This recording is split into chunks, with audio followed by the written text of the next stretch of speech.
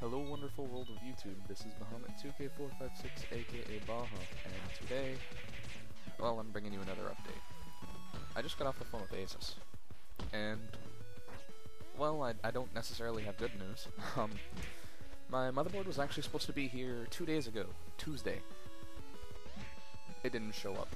So I figured I'd give them a couple days. They never sent me a tracking number or anything for the return RMA, because what happened was after I had sent out the original, they gave me an AWM because they returned the defective product to me. So as soon as mine was shipped out, they were supposed to ship one back.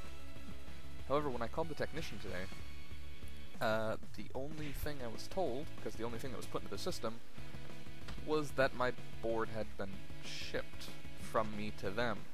They never mentioned anything about processing, and apparently they don't even know if, like, they've found a replacement board and whether it can be shipped to me or not. This is a very bad thing, because what's supposed to happen is as soon as it's processed that they're receiving the board, that it's being sent from me to them, they're supposed to find another replacement board, actually they're supposed to have one in reserve, and they're supposed to immediately process it within the next 48 hours and ship it out, and it's supposed to arrive within 2 to 3 days.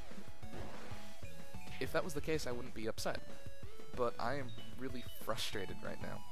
I have absolutely no idea when I'm getting my motherboard back because I haven't been told and they don't know either.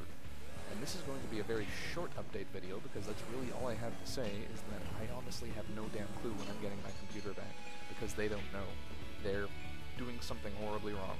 The technician who I spoke with simply said that he would contact the people who are supposed to be processing my shipment and ask them what the hell is going on, and then send me an email telling me.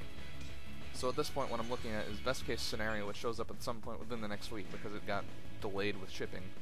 And worst case scenario, it doesn't show up at all because Asus is incompetent and doesn't understand the idea of processing an order properly. I think they're losing a customer on this one.